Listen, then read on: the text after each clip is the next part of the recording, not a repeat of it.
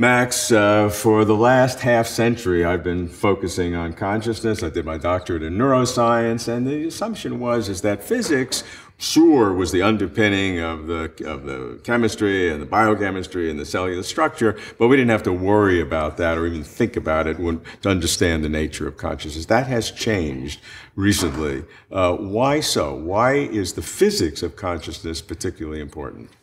I feel that it's changed because we've come to realize that a large fraction of the things we're stuck on in physics, of the unsolved mysteries, actually have to do with what it means to be an observer.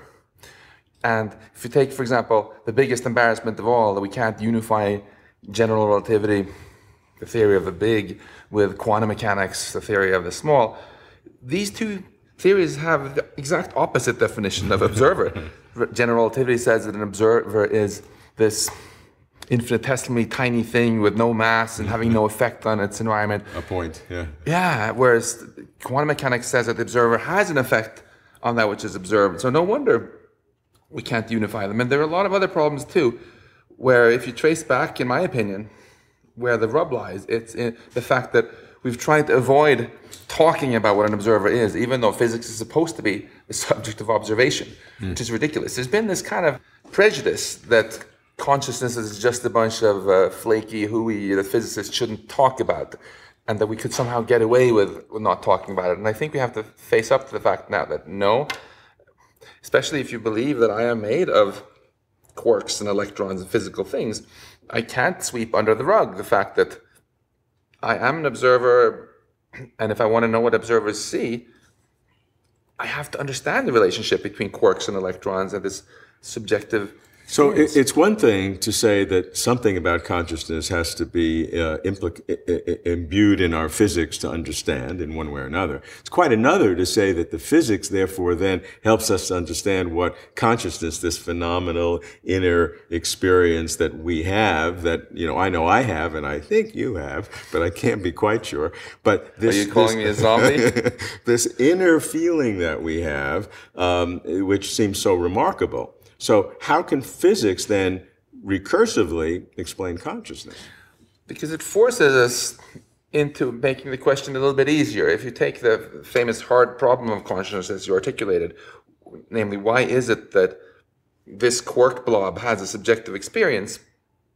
That feels very hard. But if you take as a starting point that some quark blobs, like this one, have a subjective experience, and other ones, like this table, don't, then this transforms the hard problem into this hard fact that some quark blobs are conscious, some aren't. So there must be some physical principle, some equation, which tells you which things are conscious and which aren't. And this becomes now an experimental question. You can put me in our magnetoencephalography scanner at MIT and measure information processing in my head, and I can have a computer program that shows me in real time whether I'm thinking about a strawberry or a chair on a computer screen.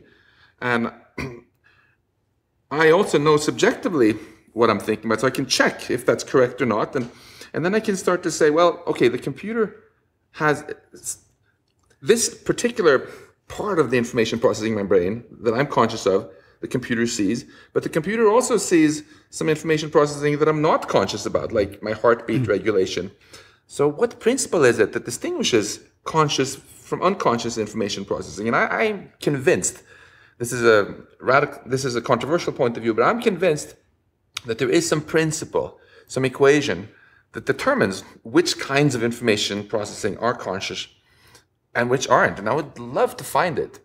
Well, that would certainly be a remarkable achievement. But what you're assuming when you see correlations in the brain with uh, with phenomenal experience uh, is certainly a, a, correlation. But the question is, uh, is causation and what is uh, what is called identity theory. Are you saying that those electrical activity, whatever they are, that equation is is exactly the same thing as the uh, the phenomenal experience? Like you say, uh, Venus is the morning star and the evening star. I mean, using two different terms for exactly right. the same object. Right. Is that what you're saying? That these that the equation that you want to find is? Because if you're saying that, that, that, that seems like a category mistake because how can you say an equation is this feeling that mm. I hmm. have? My guess is that the subjective experience that we call consciousness is the way information feels when being processed in certain complex ways.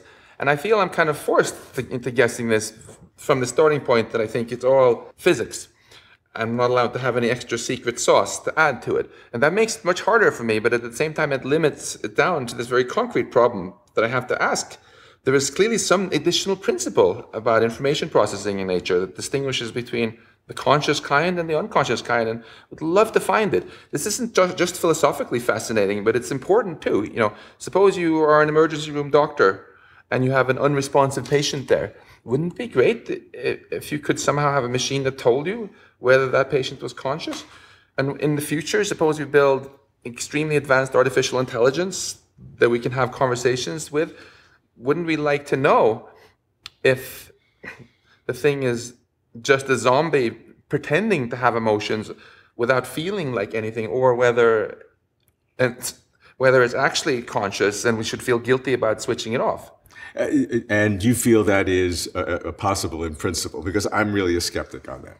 Well, if my guess is right, that there's a unity in the sense that physics ultimately applies to everything, then there is such an answer out there. And we don't know that we're smart enough to find it, but the safest way to fail in this is to convince ourselves that it's impossible and not to try.